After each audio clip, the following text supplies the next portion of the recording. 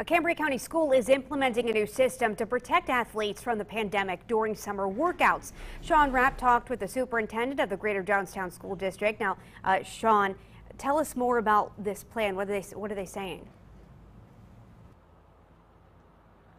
Yeah, Amanda, last month a player in the Greater Johnstown basketball team tested positive for COVID-19.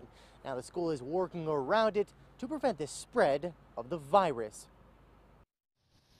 On June 24th, the Greater Johnstown School District found out a basketball player had tested positive for COVID-19. Although test results for the rest of the team and coaches came back negative, Superintendent Amy Arcurio says they still needed to make changes. Not everybody comes into the building um, in the managed way that we do when school is in session. That's why they are introducing a new color coded system for facilities used by athletes during the summer. Just a real, um, you know, elementary way of green for go and red for stop um, seemed to to meet our needs. You come across the weight room or the locker room, the gymnasium, the bathrooms at our stadium, um, that if the red signs are hanging, those areas have yet to be decontaminated and deeply cleaned and sanitized. After each use in the weight room, uh, our lifters wipe down the equipment and before and after all workouts, our maintenance staff goes in and, and cleans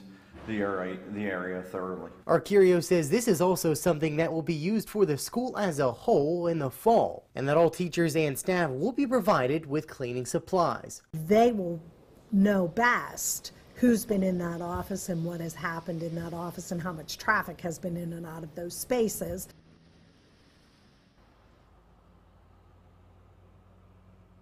Arcurio says more information will be provided to parents in a special meeting on July 14th. Reporting live in Johnstown, I'm Sean Rapp, WTAJ News.